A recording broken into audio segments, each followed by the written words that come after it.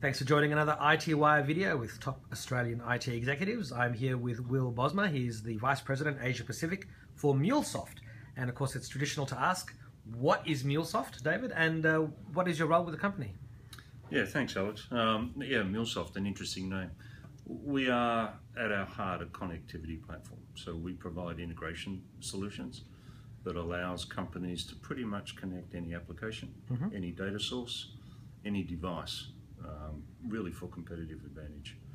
So our mission is to connect all of the world's applications, devices, and data sources, which sounds pretty ambitious, mm. but at its heart, that, that, that implies a couple of things. Firstly, we're a very focused company, so integration is all that we do.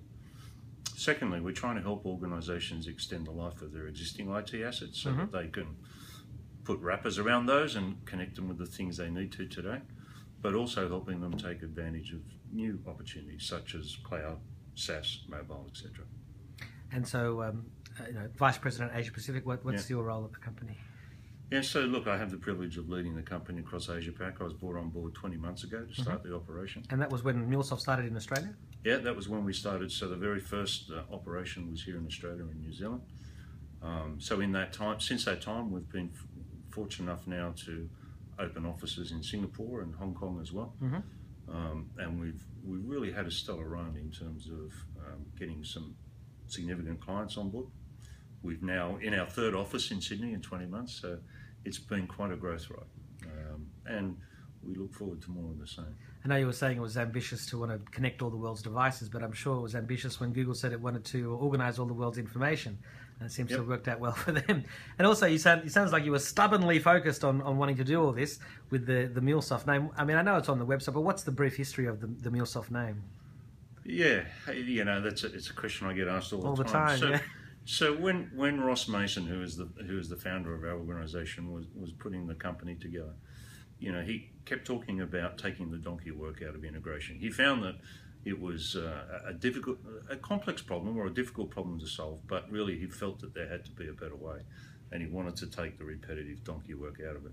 Now, clearly, Donkey Soft is not a great name for an organisation. And it probably sounds like Donkey Kong as well. Yeah, exactly, exactly. So, uh, what he decided on was MuleSoft. And, and that was really, I guess, because of the Mule's reputation for being able to do hard work. All yeah, well, there you go. There Very you go. good. Now, you know, some of the big name competitors you think might be Oracle or IBM's or Software AG's, but what what else differentiates MuleSoft from from its competitors? Yeah, we, we certainly compete with, with all of those organisations, and I, you know I think we're fundamentally different in in probably three or four ways. The first is unlike those traditional competitors, we offer connectivity solution that is what we call a unified platform. So you can do integration either in the cloud or on premise or a combination. Mm-hmm. And it's just the one technology platform. And so MuleSoft is, is really a platform that's been built and designed in the era of the cloud and it's cloud ready. I think that's really important. You know, the second thing is um, we're, a, we're a platform that is very easy to use. So one of the key things is people get results very quickly with the MuleSoft mm-hmm. platform. Mm-hmm. So if you're a, a, Java developer, we use all of the standard tooling that Java developers are very used to, and it becomes for them a very simple experience to onboard to the platform and become productive very quickly. So unified in the sense of you know cloud and on-premise, easy to use we provide a lot of productivity tools. So mm-hmm. we provide tools that make it easy to integrate applications like Salesforce, um, things like templates that allow people to re- repeat integration patterns over and over again, um, and do that very quickly and easily. And then, you know, I, th- I think uh, the other key thing is we are on that same platform. We provide the ability to not only manage APIs, but to actually build, well, sorry, design, build, manage, and then run APIs. So all of that on a single platform, equally at home, in the cloud, on premise. And then, you know, finally, we're an open source company, and I think increasingly organisations are comfortable with what that means because what it means is there's a huge community community of developers that are uh, coalescing around the MuleSoft platform. Mm-hmm Um, so easy Which access to important. Great, resources. great to have all that support from Yep. the developer community. Yep, easy access to resources, great support, lots of extensions available, um, and you know a lot of a lot is put back into the platform from that community. So it's it's a really innovative environment. And I've noticed that Gartner has put you in uh, in its magic quadrant in a couple of places, so that's obviously Yeah. good validation too. Yeah, it is. It's great validation because we're the only company that's in both the, the Magic Quadrant for both on-premise integration as well as um, integration platform as a service or, or what we call CloudHub internally.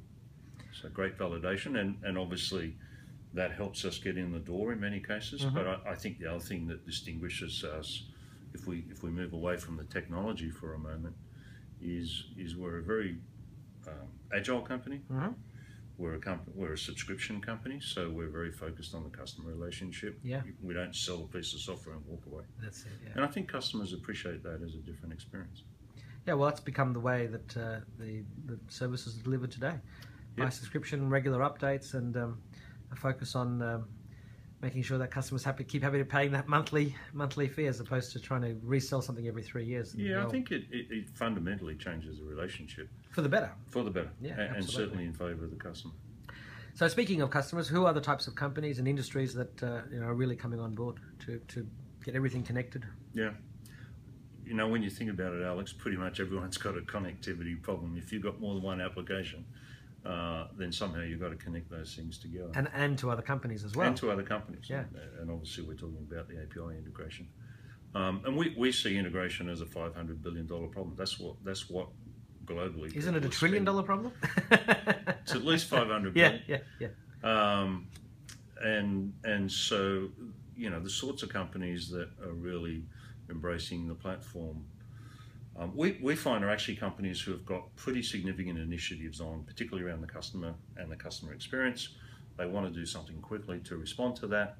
Um, and whilst that, you know, that situation applies to every industry, typical customers today, um, healthcare industry, where there's a lot happening, insurance, where you know the paradigm of buying, researching and buying insurance has changed significantly. Mm. Especially with all those comparison services. Yeah, exactly. With the comparison services, and now everybody wants to be able to do that on their mobile device. You, you know, make a decision and, and procure the insurance straight away. And every comparison service wants to cream that little bit off the top for having brought that customer and to each one of those is a connectivity problem at some level. So, so we see, and we've had great success in insurance. Media is the other interesting one, and and uh, you know, great names have become customers like News Corporation here and Foxtel, Fox Sports. Mhm. You know, it, that involves um, creating APIs, for example, to to do new applications that allow consumers to consume publications like Yeah. your own, um, but also um, you know applications to get content to screen, which is kind of interesting. So great, great stuff in all of those places. Any other big Australian names? I know the website lists all sorts of logos there, but Um, yeah, well, there's a whole bunch of. And gee, we've, we've been so fortunate. I can't remember them all. We look with Telstra. I talked about news. I talked about Foxtel, Fox Sports. Um, we've been very fortunate in higher education. So uh, organisations like Curtin and Deakin University, Swinburne. Um, we've been very fortunate, I'm not sure if I can mention the name, but we've Sure. just secured a, a large contract with New South Wales government, which we Yeah. think is is for us the great basis to, to do a lot more with government at the state level. Um, and we see a lot of impetus behind state governments taking advantage of the cloud and looking more for open source based solutions. So and we've had particular success in New Zealand as well. So very fortunate there. Um, I guess the other industry, you know, that comes to mind when we talk about that is retail. So Dick Smith, um, Comvita in New Zealand, Woolworths, Dan Murphy's, all great examples of companies who have chosen MuleSoft in the last 18 months or so. and so you've mentioned some of the customer needs, but what else is at the top of their agendas in, in coming to talk to you? I mean, clearly integrating things and using the APIs, but Yeah. there must be other things as well. Yeah, Eh, transformation, and I, I say this to my to my team out there, is probably the most overused word in the English language. Like paradigm. A little bit. But it's but it but it is true. At, There's at, truth at a level, a lot of organisations have some sort of transformation program. A lot of that um, revolves around improving the digital customer experience. Um, and that typically will mean they've got a multi channel initiative. I've got to do something with my mobile and tablet apps, mm-hmm. um, particularly in my direct to consumer business.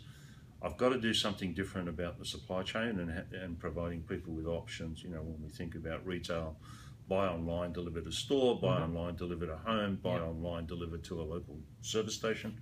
Um, so lots of initiatives around uh, the digital customer um, and increasingly initiatives around how do I expose myself to other businesses by using APIs.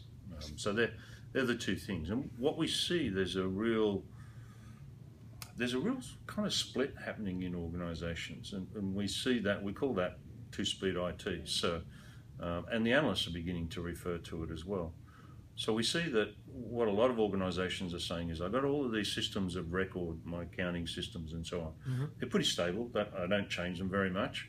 And I'm probably using one of those platforms we talked about earlier. So I've got Oracle, I've got IBM, or Salesforce. Or... Well, but I'm, I'm, talking about integration sure, or sure. software AG. Yeah. And we say, leave that. If it's working, don't. We're not here to rip and replace that. Yeah. But what organisations are saying is, I got this issue at the front. I, I, need to find a better way to connect the data to the audiences that I've got to serve. Mm-hmm. My, my, customers, in particular, my partners, and my employees. And how can I do that quickly? And that's where MuleSoft comes to the fore. So that's what I mean by two speed. The closer you get to the front office, the more innovation and agility is required. The more MuleSoft tends to get chosen. And clearly, this is this is part of a huge API-led economy that's just that's now booming. Yeah, um, I'm, I'm reminded of the hype cycle from time to time. Yeah, but, the plateau of productivity. Yeah, all of that. uh, but look, it's very clear. I think API-led integration is is becoming a clear imperative for a lot of the organisations we're talking about.